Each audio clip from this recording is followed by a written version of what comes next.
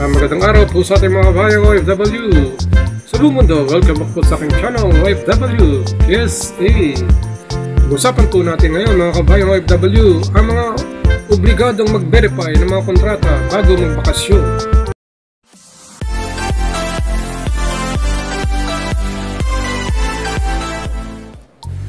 Sino-sinong OFW nga ba obligadong mag-verify ng kanilang mga kontrata sa Migrant Workers Office or POLO.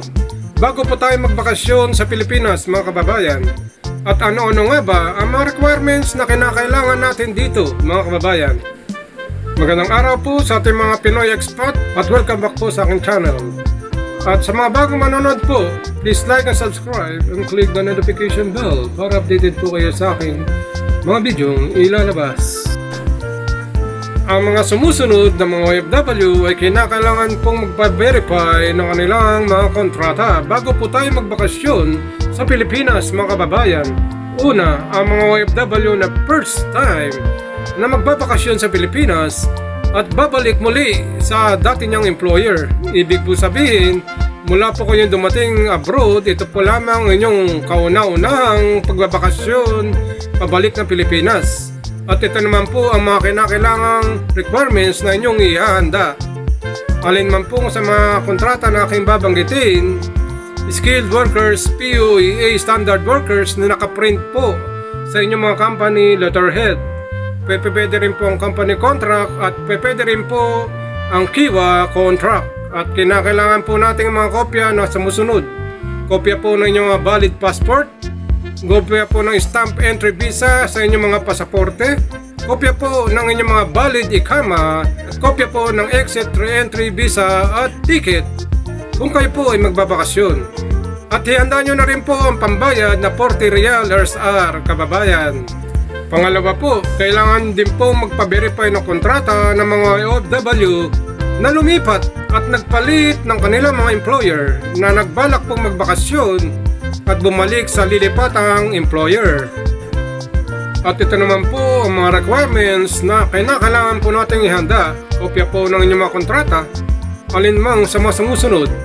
Skilled Workers POEA Standard Contract na nakaprint po sa inyong mga company letterhead, company contract, or di kaya Kiwa contract mga kababayan. Kinakailangan po may tatak po ng Chamber of Commerce kaya kailangan din po ng kopya ng mga sumusunod mga kababayan. Lumang ikama sa dati niyong pong employer. Bago pong ikama mula po sa bagong employer, kopya po ng bago, valid passport at kopya ng exit re-entry visa at kopya po ng airline ticket at ID ng bago employer or manager at higit sa lahat mga kababayan valid commercial registration yan yung kumpanya or employer na meron pong translation na English at Arabic. Huwag po natin kaligtaan na magdala po ng 40 real na pambayad. Pangatlo po, kinakailangan din po niya mag-verify contract ng ating mga kababayang kasambahay or household workers na magre-renew po na kanilang mga kontrata at magbabakasyon po sa Pilipinas at babalik muli sa dati niyang employer. At ito po ang mga requirements na kinakailangan po nating ihanda mga kababayan. Una, HSW PUA Standard Employment Contract, yung pinakabago po at latest.